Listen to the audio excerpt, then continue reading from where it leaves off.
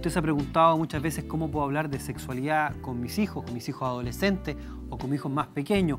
Vamos a conversar de ese tema. Ya está con nosotros en el estudio Magdalena Rivera, sexóloga.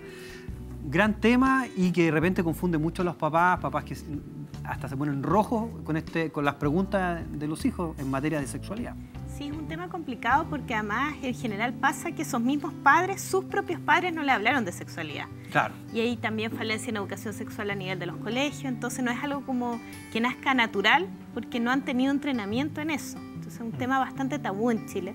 Uno diría que se habla de sexualidad, pero en general se habla como para la chacota, para el chiste, la broma, pero de manera seria no es tan fácil hablarlo. Mm. Y hablarlo significa también eh, tener un plan de comunicación o tener una línea de comunicación eh, con nuestros hijos permanente, porque es raro no hablar nunca con tu hijo de otras materias y solamente enfocarse en el tema de sexualidad porque tienes alguna preocupación. Hay una línea de, de conducción en esto que parte desde muy temprano, no es, no es cuando son adolescentes o cuando estamos frente a algún problema, ¿no? Absolutamente, tiene que ver con crear un vínculo de confianza en que se hablan otros temas que también son súper importantes. O sea, quizás la sexualidad es uno de los temas que da más miedo por los riesgos y todo, pero poder hablar de otros temas con los hijos es importante y una comunicación fluida en el tiempo. No es como, no hablamos nunca y hoy vamos a tener la gran charla. Claro. Claro, hoy día quiero sentarme contigo, hijo, para hablar de un tema muy importante, es como totalmente descontextualizado. En cambio, cuando hay una buena comunicación y cuando de pequeños, con las primeras preguntas que van haciendo, sienten que hay una buena respuesta de parte de los padres, más grande es probable que sigan haciendo las preguntas, pero si sienten que preguntan algo y viene a la papá o a la mamá asustado, con miedo, como no, de eso no se habla, probablemente van a irse cohibiendo y después no van a preguntar y van a buscar la información en otros lugares. Claramente nuestro lenguaje frente a las preguntas de ellos eh, va a ser distinto en las distintas etapas de la vida, pero eh, ¿cómo enfrentamos, por ejemplo, las, preguntas de los niños que son escolares, por ejemplo, preescolares, y que ya tienen dudas con el tema de, cómo nacen las guaguas o cómo se forman las guaguas? Antiguamente, no sé, pues había el tema del cuento de la, abeja, de la polinización, de la semilla, y tantas historias que nunca llegaban a lo concreto. Hoy día, además, tenemos otro tema, que en paralelo a la información que los papás le podemos dar, hay otra información, que es la que no queremos que busquen, que está en las redes sociales y que está en internet, digamos, y es donde no queremos que lleguen antes de conocer eh, de boca de los papás, ¿no es cierto?, cómo, cómo es de la sexualidad. Eso es fundamental porque se van a enterar de las cosas igual. Lo que podemos hacer es qué información le damos, cómo se la damos, y no es malo que sepan, eh, es mucho más peligrosa la ignorancia. O sea, lo primero yo creo que es perderle el miedo. Eh, no pasa que por decir las cosas va a, mm, por ejemplo, ser más precoz el inicio de la actividad sexual, al contrario, se ha visto que cuando hay educación sexual se retrasa el inicio de la actividad sexual y se hace con más cuidado. O sea, hay que primero, lo primero diría los padres, perder el miedo a hablar el tema. Es un gran tema porque, porque de hecho se, se dice, no le metas ideas en la cabeza al niño, mm. no le metas ideas en la cabeza a la niña, y es como bien retrógrada esa mirada porque en el fondo tú lo avalas muy bien, en, la manera que yo, en la medida, digo, mm. que yo le doy información responsable, hablo con ellos, ¿no es cierto? También estoy pavimentando un terreno donde ellos, cuando tomen una opción, ¿no? Mm. De tener su primera relación sexual o tener una pareja, van a tener ya eh, parte de ese camino recorrido, que es el recorrido de la información. Claro porque las cosas las van a hacer igual, la diferencia es hacerla con más información, saber cuidarse. Como tú decías, partir desde niño, no mintiendo, sino que con un lenguaje apropiado y la cantidad de información adecuada a la edad. O sea, más mm. bien responder la pregunta, porque a veces pues una pregunta muy concreta y no quieren saber mucho más. Claro. Los niños más pequeños son bien concretos, pero partir con cosas como bien básicas, como las partes del cuerpo deberían ser nombradas todas. Mm. O sea, los genitales y por sus nombres. Claro no solo como que la oreja y después nos saltamos, o sea, tiene que estar desde ahí. Claro, en los niños más pequeños las preguntas son más biológicas, más de cuerpo, más de anatomía eh, y después obviamente de cómo se va construyendo este nuevo ser humano, cómo nacen los niños, por dónde nacen, etc. Pero llegamos a una edad de los adolescentes que las preguntas cambian, mm. son mucho más directas. ¿Cuáles son las preguntas o las inquietudes de los adolescentes, femeninos y masculinos? Tienen preguntas que quizás varían un poquito en algunos temas, pero ¿cuáles son las que te toca enfrentar con más frecuencia? Yo diría lo primero es que son bien variadas y esto es bien interesante lo que pasa actualmente. A veces hay adolescentes que a los 12, 13 años ya están muy interesados en estos temas y otros que todavía están eh, más interesados en tema infantil y se interesan mucho más tarde. O sea, ni siquiera la edad exacta nos va a decir en qué etapa están. Entonces hay que ir viendo niño por, o adolescente por adolescente. Pero todo tipo de preguntas, desde cosas como eh, cómo cuidarse las enfermedades de transmisión sexual, infecciones, cómo prevenir el embarazo. Otras preguntas que cada vez surgen más son temas de diversidad sexual, porque ya estamos en un mundo en que por suerte se ha ido abriendo el tema y a veces tienen dudas también con su propia orientación sexual o con lo que pasa con sus amigos.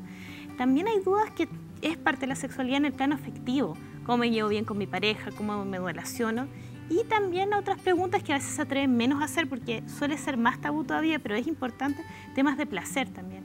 ¿Cómo hago para pasarlo bien en la actividad sexual? ¿Cómo se hace disfrutar una mujer, a un hombre? ¿Cuáles son las zonas erógenas? Esas también son dudas que tienen los adolescentes. Y también, aunque no lo crea, a veces también dudas de su salud general. Por ejemplo, ahora no quiero tener hijos, pero ¿qué hago para conservar mi fertilidad a futuro? Esas preguntas también están. Sí. Eh, con todo este tema de, las infecciones de transmisión sexual, obviamente se levantan siempre las alertas sanitarias de eh, educar a la población al respecto. Eh, tenemos, y hace poco, hace un tiempo atrás, se dio la noticia eh, a través de la OMS de que Chile había aumentado un 34% el, el, contagio de VIH, que es una señal bastante negativa para nuestro país y que no tiene que ver con cuántas pesquisas más hice, sino que con un tema de conducta. En un, en un relajamiento también que ha habido, producto de que, por una parte, los jóvenes perciben hoy día que el VIH es una enfermedad que puedes controlar, que pasa a ser una enfermedad crónica con una cantidad de medicamentos no menor, pero que no, termina finalmente, salvo algunos casos, en, el síndrome de inmunodeficiencia adquirida, que es el SIDA. Eh, entonces, para ser portador, ¿hay un relajo? ¿Cómo ves tú este tema en la juventud, en lo que a ti te toca vivir respecto de las conductas sexuales eh, protegidas o cuidadas, digamos? Pasan varias cosas. También los adolescentes son un poco más impulsivos, les cuesta más, por ejemplo, planificar la actividad sexual para tener acceso a condones. Entonces, tenemos que darle todas las facilidades de que sepan los temas, pero también de acceder a cómo cuidarse. Un adolescente va a priorizar entre comprar condones o algo para comer o tomar. Entonces ahí también es importante desde los centros de salud y desde las familias que haya también un acceso cada vez más fácil a los métodos de protección y una conciencia con eso. Pero ¿cómo intervenimos como papás en ese tema, por ejemplo? ¿Cómo nos acercamos a nuestro hijo? ¿Cuál es la recomendación que le harías a una mamá o un papá eh, para, para, interiorizarse de esto? ¿Cómo nos acercamos a nuestro hijo para decirle, oye, ¿en, qué estás con tu pareja? ¿Estás pololeando? ¿Cómo se estás cuidando? Eh, ¿cómo, ¿Cómo ponemos el acento en la protección, por ejemplo, en el preservativo? Eh, por ejemplo, bueno, yo creo que ahí es importante, depende cómo sea el vínculo, si se hablan estos temas, si no se hablan es más complejo, pero se puede incluso tomar la misma noticia. Oye, ¿qué piensas tú de que ha aumentado el VIH ah, en jóvenes? ¿Se cuidan, no se cuidan? Claro. Eh, ¿cómo, ha sido, ¿Cómo lo ves con tus amigos? Si a veces cuesta tomarlo directamente, contextualizar podemos contextualizar con el sí, con la situación actual y decir, bueno, porque a veces yo creo que otro de los grandes problemas es la falsa protección de la pareja estable. Ya. ah, tengo pareja estable, sí, están pololeando, seis meses, un año, dos años, pero no se hacen exámenes previos y no se sabe la historia para atrás. Mm. Entonces creo que mucho, como en la pareja ocasional está quizás más metida la idea de que sí, hay que usar preservativo y también esta idea adolescente de que no, a mí no me va a pasar, como un poco esta sensación de inmortalidad que tienen los adolescentes. Sí. Entonces creo que hablarlo por distintos lados, buscar estrategias de acuerdo a la persona, pero si cuesta hablarlo directamente, iría a tomar las noticias, tomar los temas más generales, puede ser una manera más fácil y tratando también de no inculcar miedo ni decirle así, ay, que te duele esto, sino que está bien vivir una vida sexual activa, está bien disfrutar, pero también hay consecuencias y está bien cuidarse. Absolutamente.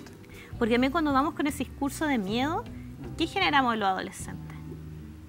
Como también más rechazo. Sí, yo diría que hablar las cosas claras, ¿no es cierto? Eh, que nuestros hijos entiendan cuáles son los peligros, las situaciones que se pueden vivir producto de una relación irresponsable.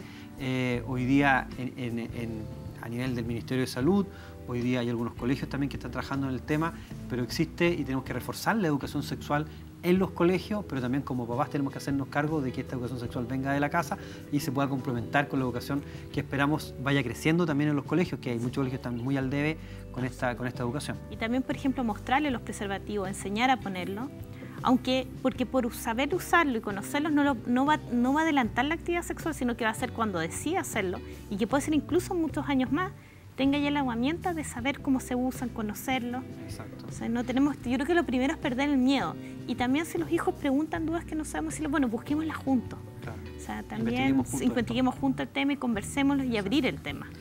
Magdalena Rivera, muchas gracias por estar hoy día con nosotros en el programa. tema muy interesante, temas que tenemos que seguir desarrollando como comunidad, hacernos cargo como papás. Hacemos la pausa, ya volvemos.